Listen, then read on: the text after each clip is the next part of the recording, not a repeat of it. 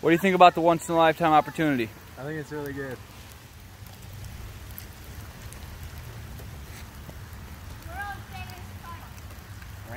World's biggest puddle. Oh yeah! Get a little mud in there. Yo. A squirrel. Yeah! Hey, boys. Yeah, boys! I'm gonna run through that one.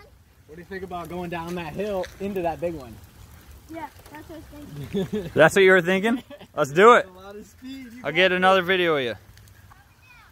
Three, two, one. Yeah, go! Oh yeah! yeah! There we go. That's what I'm talking about. How was that, Chance?